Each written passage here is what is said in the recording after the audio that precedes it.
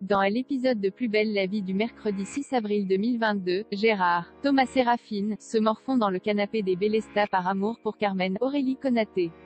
Kevin, Théo Bertrand, ne supporte plus de l'entendre chanter des chansons d'amour et demande à Laetitia, Caroline Rioux, d'arranger une rencontre entre son frère et la mère de Fanny, Prudence Leroy. L'idée n'enchante pas Laetitia, mais elle promet d'essayer. Un peu plus tard, Laetitia croise Carmen au Marcy et l'invite à sa table.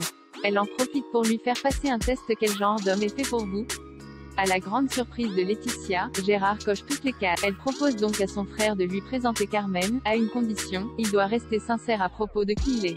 Mais la tâche s'annonce difficile. À l'heure du rendez-vous, Gérard se présente dans un costume acheté avec l'argent qu'il doit rembourser à Valentin, David Ban. Bien que consternée, Laetitia l'encourage à faire le premier pas avec Carmen.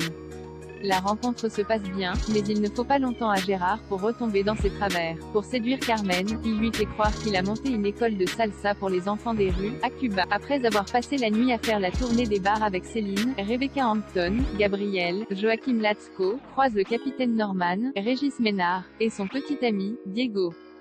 Désinhibé, le docteur Riva drague très lourdement ce dernier et se montre extrêmement provoquant, au point qu'Eric finit par lui asséner un coup de poing dans le ventre. Par précaution, Céline emmène Gabriel voir Romain, Simon Erlarer, puis le ramène chez lui. Là-bas, elle lui fait part de sa stratégie pour lui éviter la radiation de l'ordre des médecins. Afin de prouver qu'il sait faire preuve d'humilité, elle lui propose de prendre un poste de brancardier. À la grande surprise de Thomas, Gabriel accepte.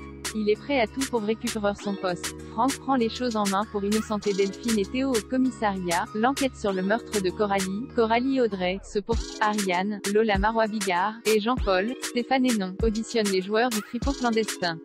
Tous ont un alibi, y compris les cousins Liberati et Alexandre Soubéran, Léo Romain bouleversé par le décès de sa meilleure amie, Blanche, Cécilia Ornu, reproche à Franck, Jean-Charles Chagache-Bagnan, d'avoir couvert Delphine, Delphine Rollin, lorsque celle-ci a décidé de cacher le corps de Coralie. Elle lui conseille de prendre ses distances avec elle, mais Franck n'a pas l'intention. Par amour pour Delphine, il va tout faire pour innocenter Théo, Jules Fabre.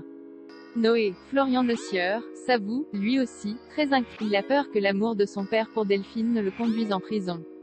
Après sa garde à vue, Alexandre retrouve Fanny à la coloc. Il lui explique que s'il joue au poker, c'est pour pouvoir la gâter. Mais Fanny n'a que faire de ses explications.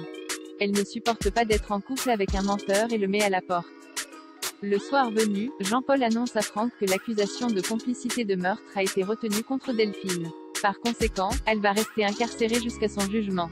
Les Liberati, eux, sont relâchés grâce à leur alibi. Bouleversé, Franck décide de prendre les choses en main.